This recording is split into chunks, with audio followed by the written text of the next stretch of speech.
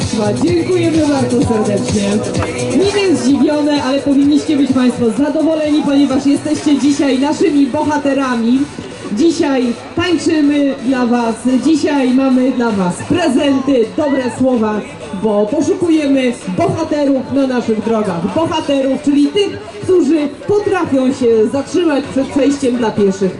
Niebezpieczne, Dzień dobry ale pamiętajmy, że to zależy wszystko od nas samych, że zarówno Proszę za pana, dzisiaj kierownicą, proponujemy jak i przy bezpieczeństwo przejściu na stoi pieszych. ktoś, Bardzo kto jest nam miło, czyjąś że pan tatą, respektuje przepisy o ruchu pieszych na drodze, że udziela im pan pierwszeństwa. mężem, żoną. Proszę bardzo. Żyje fizycznie, także bądźmy dla siebie uprzejmi, żeby